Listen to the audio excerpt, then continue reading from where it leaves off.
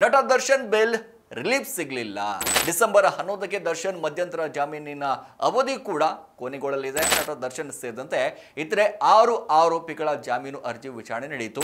ಪ್ರಸನ್ನ ಕುಮಾರ್ ಅವರು ವಾದ ಯಾವ ರೀತಿ ಮಂಡಿಸಿದ್ರು, ಅದಕ್ಕೆ ಪ್ರತಿವಾದವಾಗಿ ಯಾವ ರೀತಿ ಇತ್ತು? ಅಂತಂದ್ರೆ ಎರಡನೇ ಅರ್ಜಿಯಲ್ಲಿ ದರ್ಶನ್ ಪ್ರಿಪೇರ್ ಆಗ್ತಾ ಇದ್ದಾರೆ ಅಂತ ಹೇಳ್ತಾರೆ. ನವಂಬರ್ ಆರು ತನಕ ಬಿ ಪಿ ನಾರ್ಮಲ್ ಇದೆ.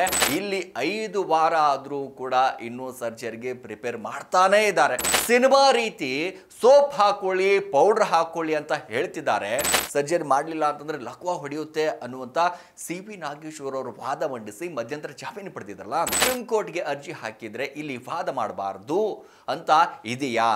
ಗೌಡ ಹಾಗೂ ಪವನ್ ಕಾಲ್ ಮಾಡಿ ಮಾತಾಡ್ತಾರೆ.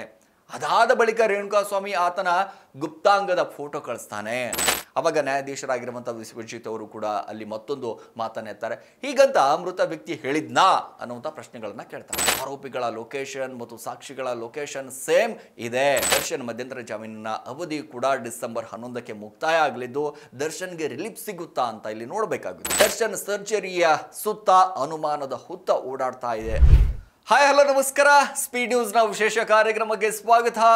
ನಾನು ಸಿರಾಜ್ ಬಲಿಖಾರ್ ನಟ ದರ್ಶನ್ ಬೇಲ್ ರಿಲೀಫ್ ಸಿಗಲಿಲ್ಲ. ಅಂತಂದ್ರೆ ರೆಗ್ಯುಲರ್ ಬೇಲ್ ಅರ್ಜಿ ವಿಚಾರಣೆ ನಡೆಸಿದಂಥ ಹೈಕೋರ್ಟ್ ವಿಚಾರಣೆಯನ್ನು ಸೋಮವಾರಕ್ಕೆ ಮುಂದೂಡಿದೆ. ಡಿಸೆಂಬರ್ ಹನ್ನೊಂದಕ್ಕೆ ದರ್ಶನ್ ಮಧ್ಯಂತರ ಜಾಮೀನಿನ ಅವಧಿ ಕೂಡ ಕೊನೆಗೊಳ್ಳಲಿದೆ. ದರ್ಶನ್ ಮತ್ತೆ ಜೈಲು ಸೇರ್ತಾರಾ ಎಂಬ ಕುತೂಹಲ ಕೂಡ ಇದೀಗ ಸಹಜವಾಗಿ ಮೂಡ್ತಾ ಇದೆ. ಅಂತಂದ್ರೆ, ನಟ ದರ್ಶನ್ ಬೇಲ್ ಅರ್ಜಿ ವಿಚಾರಣೆ ಮುಂದೂಡಿಕೆ ವಿಚಾರಕ್ಕೆ ಸಂಬಂಧಪಟ್ಟ ಹಾಗೆ ನಾವು ನೋಡ್ತಾ ಇದ್ದೀವಿ. ಹೈಕೋರ್ಟ್ ನ್ಯಾಯಮೂರ್ತಿ ವಿಶ್ವಜಿತ್ ಶೆಟ್ಟಿ ಅವರು ಏಕಸದಸ್ಯ ಪೀಠದಲ್ಲಿ ನಟ ದರ್ಶನ್ ಸೇರಿದಂತೆ ಇತರೆ ಆರು ಆರೋಪಿಗಳ ಜಾಮೀನು ಅರ್ಜಿ ವಿಚಾರಣೆ ನಡೆಯಿತು. ದರ್ಶನ್ ಪರ ವಕೀಲರಾಗಿರುವಂಥ ಸಿ ಬಿ ನಾಗೇಶ್ವ ಮಾಡಿದಂಥ ವಾದಕ್ಕೆ ನಿನ್ನೆ ಪ್ರಸನ್ನ ಕುಮಾರ್ ಅವರು ಯಾವ ರೀತಿ ವಾದವನ್ನು ಮಂಡಿಸಿದ್ರು, ಪ್ರತಿವಾದವನ್ನು ಯಾವ ರೀತಿ ಇತ್ತು ಅನ್ನೋದನ್ನು ಕೂಡ ನ್ಯಾಯಾಧೀಶರು ಒಂದು ಕಡೆ ಆಲಿಸಿ ಅದಾದ ನಂತರ ಅರ್ಜಿ ವಿಚಾರಣೆಯನ್ನು ಸೋಮವಾರಕ್ಕೆ ಮುಂದೂಡಿಸಿದ್ರು. ಈ ಮೂಲಕ ದರ್ಶನ್ಗೆ ರಿಲೀಫ್ ಟೆನ್ಷನ್ ಒಂದಿಷ್ಟು ಮುಂದು ಹೋಗ್ತಾ ಇದೆ. ಕೋರ್ಟ್ನಲ್ಲಿ ವಾದ ಪ್ರತಿವಾದ ಹೇಗಾಯಿತು ಹಾಗಾದ್ರೆ? ಪ್ರಸನ್ನ ಕುಮಾರ್ ಅವರು ವಾದ ಯಾವ ರೀತಿ ಮಂಡಿಸಿದ್ರು, ಅದಕ್ಕೆ ಪ್ರತಿವಾದವಾಗಿ ಯಾವ ರೀತಿ ಇತ್ತು ಅನ್ನೋದ್ರ ಬಗ್ಗೆ ಕೂಡ ನಾವು ನೋಡ್ತಾ ಹೋಗೋಣ. ದರ್ಶನ್ ಆಪರೇಷನ್ಗೆ ಪ್ರಿಪೇರ್ ಆಗಲು ಒಂದು ವಾರ ಸಮಯ ನೀಡಲಾಗಿತ್ತು. ಅಂತಂದರೆ ಎರಡನೇ ಅರ್ಜಿಯಲ್ಲಿ ದರ್ಶನ್ ಪ್ರಿಪೇರ್ ಆಗ್ತಾ ಇದ್ದಾರೆ ಅಂತ ಹೇಳ್ತಾರೆ. ಇಪ್ಪತ್ತೊಂದು ದಿನಗಳಲ್ಲಿ ಬಿ ಪಿ ವೇರಿಯೇಷನ್ ಆಗ್ತಾ ಇದೆ ಅಂತ ನವಂಬರ್ ಒಂದರಂದು ಚಾರ್ಜ್ ಶೀಟ್ ಕೊಡ್ತಾ ಕೊಡ್ತಾರೆ. ಅದಾದ ನಂತರ ನವಂಬರ್ ಆರು ತನಕ ಬಿ ಪಿ ನಾರ್ಮಲ್ ಇದೆ. ಬಳಿಕ ಬಿ ಪಿ ನೂರ ನಲವತ್ತೊಂದು ನೂರ ನಲವತ್ತೆರಡು ಇದೆ ಅಂತಾರೆ. ಆದ್ದರಿಂದ ದರ್ಶನ್ಗೆ ಸರ್ಜರಿ ಮಾಡಲು ಆಗಲ್ಲ ಅಂತಾರೆ. ಆದರೆ ಇಲ್ಲಿ ಐದು ವಾರ ಆದರೂ ಕೂಡ ಇನ್ನೂ ಸರ್ಜರಿಗೆ ಪ್ರಿಪೇರ್ ಮಾಡ್ತಾನೇ ಇದ್ದಾರೆ. ಐದು ವಾರ ಟೈಮ್ ವೇಸ್ಟ್ ಮಾಡ್ತಾ ಇದ್ದಾರೆ. ಸಿನಿಮಾ ರೀತಿ ಸೋಪ್ ಹಾಕೊಳ್ಳಿ, ಪೌಡ್ರ್ ಹಾಕೊಳ್ಳಿ ಅಂತ ಹೇಳ್ತಿದ್ದಾರೆ. ನಾಳೆ ಲಕ್ವಾ ಹೊಡೆಯುತ್ತೆ ಅಂತ ಹೇಳಿ ಒಂದು ಕಡೆ ಮಧ್ಯಂತರ ಜಾಮೀನನ್ನು ಪಡೆದಿದ್ರು. ಇಲ್ಲ, ನೀವು ಸರ್ಜರಿ ಮಾಡಲೇಬೇಕು, ದರ್ಶನ್ ಅವ್ರಿಗೆ ಮ, ಸರ್ಜರಿ ಮಾಡಲಿಲ್ಲ ಅಂತಂದರೆ ಲಕ್ವಾ ಹೊಡೆಯುತ್ತೆ ಅನ್ನುವಂಥ ಸಿ ಪಿ ನಾಗೇಶ್ವರ ಅವರು ವಾದ ಮಂಡಿಸಿ ಮಧ್ಯಂತರ ಜಾಮೀನು ಪಡೆದಿದ್ರಲ್ಲ. ಆ ವಾದಕ್ಕೆ ಸಂಬಂಧಪಟ್ಟ ಹಾಗೆ ಪ್ರಸನ್ನ ಕುಮಾರ್ ಅವರು ಯಾವ ರೀತಿ ವಾದವನ್ನು ಮಾಡಿಸ್ತಾರೆ ಅಂತಂದರೆ, ಆದರೆ ಈ ರೀತಿ ಕಾಲಹರಣವನ್ನು ಮಾಡ್ತಾ ಇದ್ದಾರೆ. ಸದ್ಯ ದರ್ಶನ್ಗೆ ನೀಡಿರುವಂಥ ಬೇಲ್ ವಜಾ ಮಾಡಬೇಕು ನೀವು. ಸರೆಂಡರ್ ಆಗಿ ಆಮೇಲೆ ರೆಗ್ಯುಲರ್ ಬೇಲ್ ಬಗ್ಗೆ ತೀರ್ಮಾನ ಮಾಡಬೇಕು. ಇವರು ಕೋರ್ಟ್ ಅನುಕಂಪದ ದುರುಪಯೋಗವನ್ನು ಮಾಡ್ಕೊಳ್ತಾ ಇದ್ದಾರೆ ಅಂತ ಪ್ರಸನ್ನ ಕುಮಾರ್ ಅವರು ವಾದವನ್ನು ಮಾಡುತ್ತಾರೆ. ಅದಾದ ಬಳಿಕ ಸಿ ಬಿ ನಾಗೇಶ್ವರ್ ಅವರು ವಾದವನ್ನು ಮಾಡಿಸ್ತಾರೆ. ಅವರು ಸುಪ್ರೀಂ ಕೋರ್ಟ್ಗೆ ಅರ್ಜಿ ಹಾಕಿದ್ದಾರೆ ಅನ್ನುವಂಥ ಮಾತು ಕೂಡ ಇಲ್ಲಿ ಬರುತ್ತೆ. ನ್ಯಾಯಾಧೀಶರಾಗಿರುವಂಥ ವಿಶ್ವಜಿತ್ ಶೆಟ್ಟಿ ಅವರು ಕೂಡ ಅಲ್ಲಿ ಮಾತನ್ನೇ ಇರ್ತಾರೆ ಸುಪ್ರೀಂ ಕೋರ್ಟ್ಗೆ ಅರ್ಜಿ ಹಾಕಿದರೆ ಇಲ್ಲಿ ವಾದ ಮಾಡಬಾರ್ದು ಅಂತ ಇದೆಯಾ? ಅಲ್ಲ, ನೀವು ಆರೋಪಿಗಳ ವಾದಕ್ಕೆ ಮುಂಚೆ ಹೇಳೋದಲ್ವಾ? ಅವರು ಫಾಲೋ ಮಾಡ್ತಾ ಇಲ್ಲ ಅಂತ ಅನ್ನುವಂಥ ಮಾತು ಕೂಡ ಇಲ್ಲಿ ಬರುತ್ತೆ. ಅದಾದ ನಂತರ ಪ್ರಸನ್ನ ಕುಮಾರ್ ಅವರು ಹೇಳ್ತಾರೆ ಇದರಲ್ಲಿ ಏ ಎ ಒನ್ ನೇರವಾಗಿ ರೇಣುಕಾ ಸ್ವಾಮಿಗೆ ಡ್ರಾಪ್ ಯು ನಂಬರ್ ಅಂತ ಮೆಸೇಜ್ ಹಾಕಿದ್ದಾರೆ. ಆದರೆ ಆಕೆ ಆತನ ನಂಬರ್ ಬ್ಲಾಕ್ ಮಾಡಲಿಲ್ಲ. ಬದಲಾಗಿ ನಂಬರ್ ಕೇಳ್ತಾಳೆ. ಜೂನ್ ಮೂರರಂದು ನಂಬರ್ ಕಳಿಸುವಂತೆ ಮೆಸೇಜ್ ಮಾಡ್ತಾಳೆ. ಜೂನ್ ಐದು ಕಳೆದರೂ ರೇಣುಕಾ ಸ್ವಾಮಿ ರೆಸ್ಪಾಂಡ್ ಮಾಡಲಿಲ್ಲ.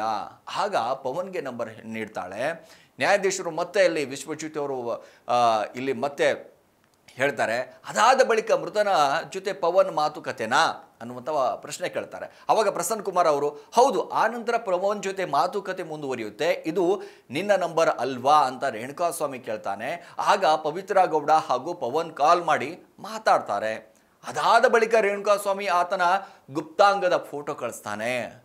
ಆಗಲೂ ಆತನ ನಂಬರ್ ಬ್ಲಾಕ್ ಮಾಡಲ್ಲ. ಬಳಿಕ ಪವನ್ ರೇಣುಕಾಸ್ವಾಮಿಯ ಮನೆಯ ವಿಳಾಸ ಕೇಳ್ತಾನೆ. ಇದು ಪವನ್ ಮೊಬೈಲ್ ರಿಕವರಿಯಲ್ಲಿ ಸಿಕ್ಕಿದೆ. ಬಳಿಕ ಜೂನ್ ಏಳರಂದು ಮತ್ತೊಂದು ಚಾಟಿಂಗ್ ನಡೆಯುತ್ತೆ. ಆಗ ನಾನು ಚಿತ್ರದುರ್ಗದ ಕೋರ್ಟ್ ಬಳಿ ಇರೋದಾಗಿ ರೇಣುಕಾಸ್ವಾಮಿ ಹೇಳ್ತಾನೆ. ಅವಾಗ ನ್ಯಾಯಾಧೀಶರಾಗಿರುವಂಥ ವಿಶ್ವಜಿತ್ ಅವರು ಕೂಡ ಅಲ್ಲಿ ಮತ್ತೊಂದು ಮಾತನ್ನ ಎತ್ತಾರೆ. ಹೀಗಂತ ಮೃತ ವ್ಯಕ್ತಿ ಹೇಳಿದ್ನಾ ಅನ್ನುವಂಥ ಪ್ರಶ್ನೆಗಳನ್ನು ಕೇಳ್ತಾರೆ. ಅವಾಗ ಪ್ರಸನ್ನ ಕುಮಾರ್ ಅವರು ಏನು ಹೇಳ್ತಾರೆ ಅಂತಂದರೆ, ಹೌದು, ಕೋರ್ಟ್ ಇದೆ, ಅಟೆಂಡ್ ಮಾಡಬೇಕು ಅಂತ ಹೇಳ್ತಾನೆ. ಬಳಿಕ ರೇಣುಕಾಸ್ವಾಮಿಯನ್ನು ಹುಡುಕಲು ರಾಘವೇಂದ್ರಿಗೆ ಪವನ್ ಹೇಳ್ತಾನೆ. ಬಳಿಕ ಜೂನ್ ಎಂಟರಂದು ರೇಣುಕಾಸ್ವಾಮಿಯನ್ನು ಬೆಂಗಳೂರಿಗೆ ಕರೆತಂದು ಕ್ರೈಮ್ ಸ್ಟಾರ್ ಮಾಡ್ತಾರೆ. ಆರೋಪಿಗಳ ಲೊಕೇಶನ್ ಮತ್ತು ಸಾಕ್ಷಿಗಳ ಲೊಕೇಶನ್ ಸೇಮ್ ಇದೆ. ಅಂತಂದರೆ ಆರೋಪಿಗಳು ಸಹಜವಾಗಿ ಆರೋಪಿಗಳು ಅಲ್ಲಿದ್ದ ಬಗ್ಗೆ ಸಾಕ್ಷಿ ಕ್ಲಿಯರ್ ಇದೆ. ನ್ಯಾಯಾಧೀಶರು ವಿಶ್ವಜಿತ್ ಅವರು ಮತ್ತೊಂದು ಮಾತನ್ನು ಎತ್ತಾರೆ. ಇಲ್ಲಿ ಅರ್ಜಿದಾರರ ಪರ ವಕೀಲರು ಅಲ್ಲಿದ್ದ ಬಗ್ಗೆ ಮಾಡೇ ಇಲ್ಲ ಯಾಕೆ ಅನ್ನುವಂಥದ್ದು. ಅವಾಗ ಪ್ರಸನ್ನ ಕುಮಾರ್ ಅವರು, ಹೌದು ಸಿ ಡಬ್ಲ್ಯೂ ನೈಂಟಿ ಒನ್ ಬಗ್ಗೆ ಮಾಡಿದ್ದಾರೆ ಅಂತ. ನ್ಯಾಯಾಧೀಶರು ಮತ್ತೊಂದು ಮಾತನ್ನು ಎತ್ತಾರೆ. ಸರಿ, ಸೋಮವಾರ ಇನ್ನಷ್ಟು ವಿಚಾರಣೆ ಮಾಡೋಣ. ಈ ಮಧ್ಯೆ ಚಿತ್ರದುರ್ಗದಲ್ಲಿ ರೇಣುಕಾಸ್ವಾಮಿಯಲ್ಲಿ ಮನೆಯಲ್ಲಿ ಈಗಾಗಲೇ ಎರಡು ದಿನಗಳಿಂದ ವಿಶ್ವ ವಿಶೇಷವಾದಂಥ ಪೂಜೆ ನಡೀತಾ ಇದೆ. ರಂಭಾಪುರಿ ಶ್ರೀಗಳು ಕೂಡ ನೇತೃತ್ವದಲ್ಲಿ, ಕುಟುಂಬದಲ್ಲಿ ಶಾಂತಿ, ಮಗುವಿನ ಆರೋಗ್ಯಕ್ಕಾಗಿ ಪೂಜಾ ಕೈಕರ್ಮಗಳನ್ನು ನಡೆಸಿದ್ದಾರೆ. ಸದ್ಯ ಪ್ರಸನ್ನ ಕುಮಾರ್ ಅವರ ಪ್ರತಿವಾದಗಳನ್ನು ಆಲಿಸಿರುವಂತಹ ನ್ಯಾಯಮೂರ್ತಿ ವಿಶ್ವಜಿತ್ ಶೆಟ್ಟಿ ಅವರು ವಿಚಾರಣೆಯನ್ನು ಸೋಮವಾರಕ್ಕೆ ಮುಂದೂಡಿಸಿದ್ದಾರೆ. ಮತ್ತೊಂದು ಕಡೆ ದರ್ಶನ್ ಮಧ್ಯಂತರ ಜಾಮೀನಿನ ಅವಧಿ ಕೂಡ ಡಿಸೆಂಬರ್ ಹನ್ನೊಂದಕ್ಕೆ ಮುಕ್ತಾಯ ಆಗಲಿದ್ದು, ದರ್ಶನ್ಗೆ ರಿಲೀಫ್ ಸಿಗುತ್ತಾ ಅಂತ ಇಲ್ಲಿ ನೋಡಬೇಕಾಗುತ್ತೆ. ಸಹಜವಾಗಿ ಯಾಕಂದರೆ ನ್ಯಾಯ ಅಂತಂದರೆ ಎಲ್ರಿಗೂ ಕೂಡ ಒಂದೇ ರೀತಿ ಇರಬೇಕು. ಅಂತಂದರೆ ಶ್ರೀಮಂತರಿಗೆ ಒಂದು ನ್ಯಾಯ, ಬಡವರಿಗೆ ಒಂದು ನ್ಯಾಯ ಅನ್ನುವಂಥದ್ದು ಇರಬಾರ್ದು. ಯಾಕಂದರೆ ನ್ಯಾಯ ದೇವತೆಗೆ ಯಾಕೆ ಕಣ್ಣಿಗೆ ಪಟ್ಟಿಯನ್ನು ಕಟ್ಟಿರ್ತಾರೆ? ಅಂತಂದರೆ, ನಾನು ಕೇವಲ ತಕಡಿಯಲ್ಲಿ ಇದ್ದಿದ್ದು ಮಾತ್ರ ನಾನು ನೋಡ್ತೀನಿ. ಯಾರು ನನ್ನ ಮುಂದೆ ಶ್ರೀಮಂತರಿದ್ದಾರೋ, ಬಡವರಿದ್ದಾರೋ, ದೊಡ್ಡ ವ್ಯಕ್ತಿ ಇದ್ದಾನೋ ರಾಜಕಾರಣಿ ಇದ್ದಾನೋ ಅಂತ ನಾನು ನೋಡೋದಿಲ್ಲ ಅನ್ನೋದನ್ನು ಸಮಾನತೆ ಅನ್ನುವಂಥದ್ದು ಹುಡುಕ್ತೀವಿ. ಸೊ ಇಲ್ಲಿ ನಟ ದರ್ಶನ್ ಅವರು ಆರು ವಾರಗಳ ಮಧ್ಯಂತರ ಜಾಮೀನನ್ನು ಪಡೆದುಕೊಂಡು ಹೊರಗೆ ಬರ್ತಾರೆ. ಇಲ್ಲ, ಸರ್ಜರಿ ಮಾಡಲೇಬೇಕು ಮಾಡಲೇಬೇಕು ಅನ್ನುವಂಥ ವಾದಗಳನ್ನು ಮಾಡ್ತಾರೆ. ಅದಾದ ನಂತರ ಇಲ್ಲಿ ಐದು ವಾರ ಕಳೆದರೂ ಕೂಡ ಇನ್ನೂ ಸರ್ಜರಿ ಆಗಿಲ್ಲ ಅನ್ನುವಂಥದ್ದು. ಅಂತಂದರೆ ದರ್ಶನ್ ಸರ್ಜರಿಯ ಸುತ್ತ ಅನುಮಾನದ ಹುತ್ತ ಓಡಾಡ್ತಾ ಇದೆ ಅನ್ನುವಂಥದ್ದು ಕೂಡ ಬಹಳ ಇಲ್ಲಿ ಸ್ಪಷ್ಟವಾಗಿ ಕಾಣ್ತಾ ಇದೆ. ಎಸ್ ಇವತ್ತಿನ ವಿಶೇಷ. ನಿರಂತರ ಸುದ್ದಿಗಾಗಿ ನೋಡ್ತಾರೆ ಸ್ಪೀಡ್ ನ್ಯೂಸ್ ಕಡ ಸುದ್ದಿ ನಿಮ್ಮದು, ವೇಗ ನಮ್ಮದು. ಹೆಚ್ಚಿನ ಸುದ್ದಿಗಳಿಗಾಗಿ ನಮ್ಮ ಚಾನೆಲ್ನ ಸಬ್ಸ್ಕ್ರೈಬ್ ಮಾಡಿ.